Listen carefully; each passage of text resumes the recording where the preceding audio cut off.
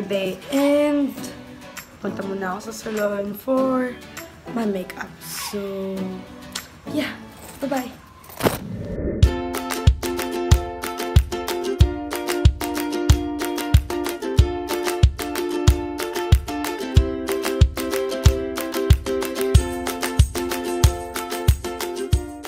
What's up?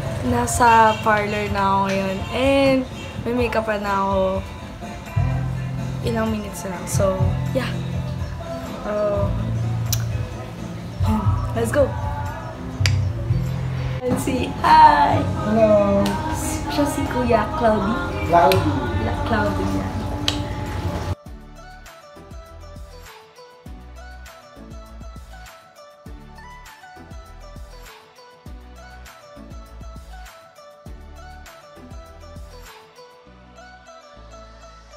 So, what's up? Um, tapos na ako make-upan and ayan na yung buhok ko and yung make-up ko. Tapos ayun, pag inayos na yung dito ko, nilagyan na lang ng white kasi hindi yun naman sila yung naglalagay ng nail art and everything. So, yun. So, pabalik na ako ng bahay. Tara, Tito Alan. Ayan, so, kasama ko si Tito Alan. Let's go! Teka, ayun po. Natagkal nga yun sa dito ko at nakita na yung kuko. So, ngayon, gagawin natin, ikakabit natin to. Oh my God, may pimple ako. Oh my God. So, what's up? Now, dahil natagkal nga yung sa kuko ko at nakita na namin ngayon, guess what? Ikakabit ko siya using tawag dito, Mighty Seal.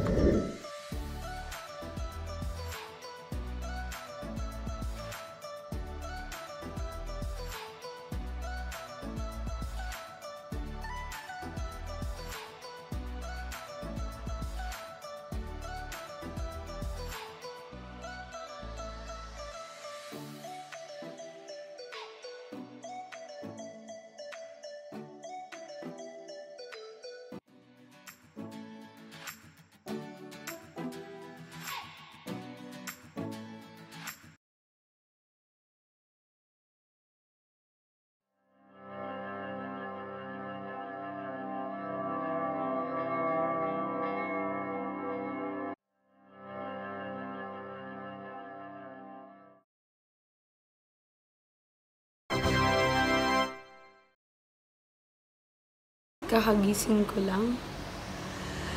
Nakatulog na ako and nakatulog akong may contact lens at hindi ko pa rin siya natataggal ngayon kasi hindi ko matagkal. Nakalimutan ko na din na tinatamad na ako so pray for my eyes. Ayun. Ang tagal ng oras. Excited ako masyado. So, ayun, babalik ako dun sa pinamake-upan ko. Because, ano na yung buhok ko. Sabog na siya. Let's go. Let's go. Again, tapos na yung buhok ko. So, maikli pa siya ngayon kasi kakakulot lang. Pero mamaya, syempre, dahil 6 pa, yung mismong party, so, bababa pa siya and mag-wavy pa siya. So, yeah. Time check. It's 4 o'clock. 3.56. So, right now, pupunta kami sa Jollibee para... Ito, anong papatay nga ng sound? Baka makapiright ako. So, right now, pupunta ako kay Tony. Ay, kay Tony. Pupunta ako sa Jollibee because antayin ko yung best friend ko, si Tony. Sasabay siya sa akin papunta dun sa hotel na pagstayan ng volleyball friends. So, nagbanggaan daw sa expressway. So, mas maaga kami nila Tony and friends. Because, ayaw namin malate. Kasi hindi bubuksan. Closed door siya. Naka na siya pang chrome. Yung coat niya kakaiba. Kasi yung coat na normal coat. Natawagin ko. Wait, as wait lang. Tawagan ko lang si Tony. Ang tagal ni Tony, as in, promise, besh. Alam mo namang mahal kita, pero Grabe ha, ang tagal talaga, promise. Humini na, nasa may Jollibee kami and right now nagpapabili ako ng Chocomalo Pie kasi medyo na-stress ako kay Tony kasi sobrang tagal niya. And, oh my God. Oh my God. Dumating na si Tony with her mom. And hindi pa daw siya bihis, pero hi tita, hindi na po ako bababa dahil napapayad po yung hangin. Papayad po yung hangin. Ayun nga pala si Tony. Ito. Ako naman. Nag-picture kasi ako kanina sa bahay na may flash bago umalis. Oh. Titignan ko may flashback. Oh. Kung puti yung mukha pag may flash. Ano yan, puti? Puti yung dito, ito lang. Tapos ito, Oh. ito. Tapos alala ko, ay mga pala, mas light pala na concealer yung ginamit ko dyan, pang pa-highlight. Tapos Ang kapal, mas makapal pa yung makeup sa akin ni Tony. Foundation lang yan. Foundation lang din yung gamit ko. Nagpa-makeup ako. Isang. Ang yabang talaga ni Tony. Hindi nga ako nag-ayos ng buhok, papa, ano ko nga lang to kalalin doon eh. Hi people of the earth. Highlight bomb.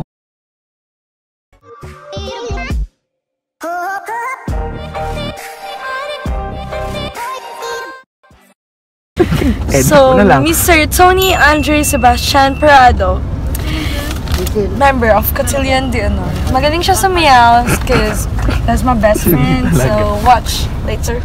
It's alligator. Alam mo? Nasa Alabang kami. Alabang, Star Mall. Star Mall. Star Mall. So, kapag umuwi ako ng Quezon, I always go here. Ako naman. Diyan. Ayun, hindi siya kita. Ako naman, ano? Yan.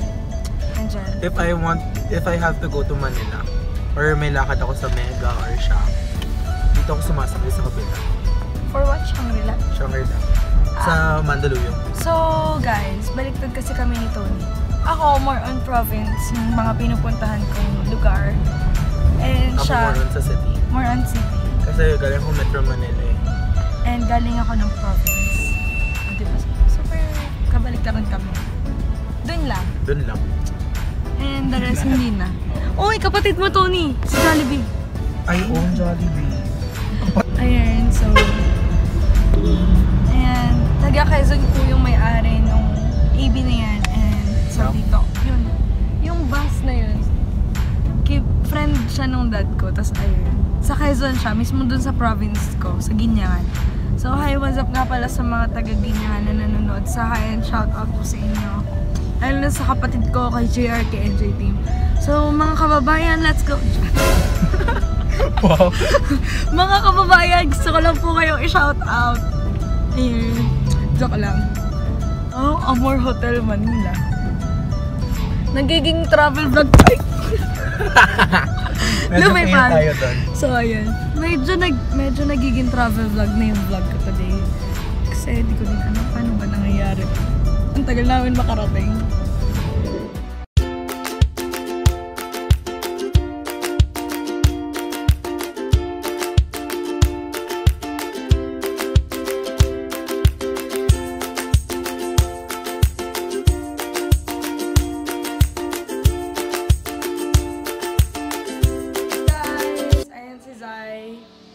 And, hindi pala kita yung damit ko, Shongi. Ayan, that's my dress. And this is my mask. Ayan. Ayun po. So, ito yung hotel namin.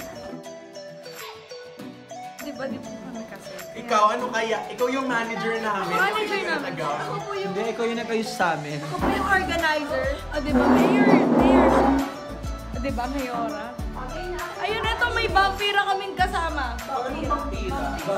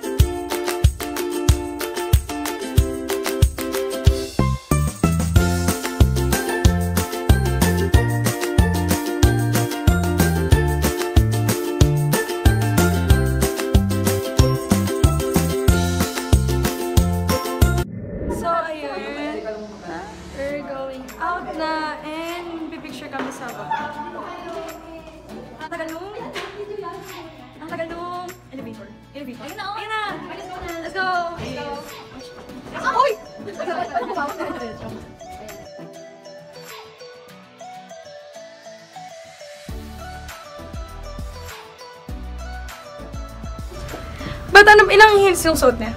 Seven. heels. Dalawa. Ilang heel- Isa lang, ilang isang inch pa lang. lang. Ilang heel lang daw. Wait lang, may papasok na kasi. Fresh natin, ba't ganon? Magmamakto kami later. Ito yung suot namin. Of course. Tapos may magpipicture sa akin. Mas mag-viral kami ba? Ako punta. Five mo lang ako punta. Sabi natin, 5.30 ako pupunta. Ako na sa pala. Tara na,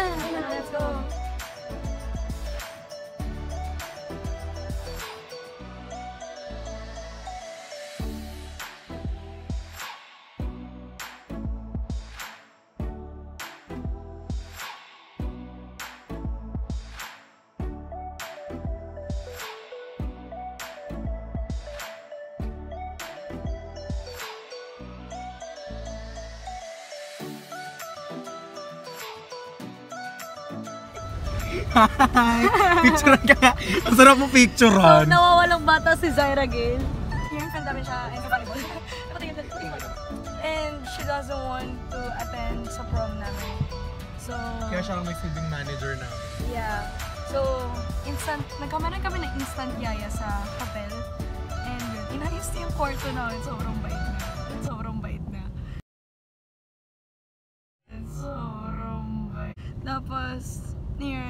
now we are going to the Venue. Palazzo Verde. Kung al- kung aware kayo dun sa movie na Four Sisters and a Wedding, yung venue nung wedding sa last. Dun yun.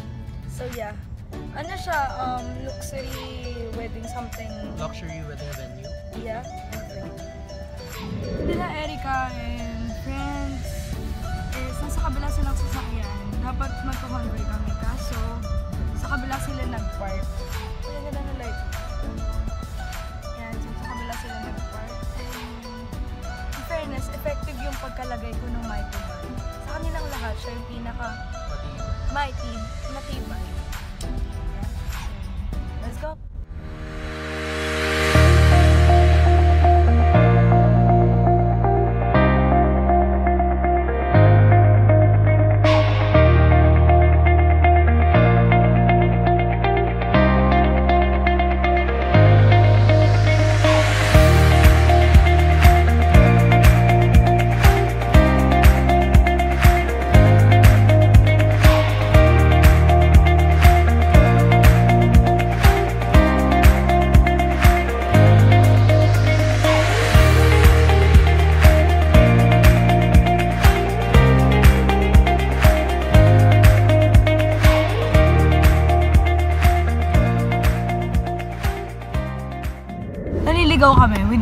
where that is. And si Tony, kinakabahan na siya kasi late siya for cotillion. Lagot siya kay, Miss ako ba? Hi Miss ako ba? I know you're watching this. So what's up? Wala eh, malapit na eh. And ayun, malapit na daw kami, sabi ng polis. So thank you. Di ba yun yung ano na yun? Ayan! Ayun na, nakita ko na. Let's go. Hindi ako late. Ano lang? 45 minutes late. I'm They're just early kasi. Ano ba?